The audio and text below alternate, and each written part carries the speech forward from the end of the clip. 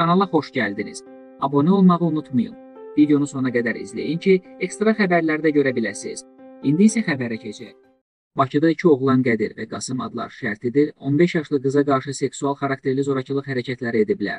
Milli Azoxu Azə istinadən bildirir ki, dostlar Qədirin Instagram sosial şəbəkə hesabından tanış olduğu qıza qarşı qeyri-qanuni akt həyata keçiriblər.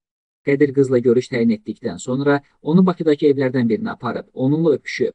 Daha sonra isə dostu Qasım həmin evə gəlib. İstintaq materiallarına əsasən Qasım özünü polis əməkdaşı kimi təqdim edib. Mobil telefonu ilə video çəkiliş apararaq qızı hədələyib. Belə ki, Qasım həmin görüntüləri qızın anasına göndərəcəyini bildirib. Qədir və Qasım istintaqa ifadələrində özlərini həmin ittiham üzrə təqsirli bilməyiblər. Qız isə anasına hadisəni danışdıqda dostlar tərəfindən zorlamaya məruz qaldığını qeyd edib. Bununla belə ekspertiza qızın zorlanmadığını müəyyən edib. Ekspertizanın rəyindən sonra qız ifadəsini dəyişib.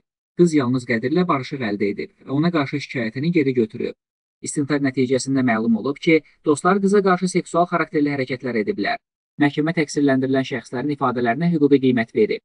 Elə nəticəyə gəlib ki, onların bu ifadələri hadisənin motivinə uyğun gəlmir və bir-birlərini müdafiə xarakteri daşıyaraq həqiqəti əks etdirmir. Məhkəmə dostlar haqqında Cinayət Məcəlləsinin 150.1-ci maddəsi ilə hökm çıxarıb. Qədirin yetkinlik yaşına çatmadığını nəzərə alaraq ona 2 il müddətinə, Qasım isə 5 il müddətinə azadlıqdan məhrum edilib.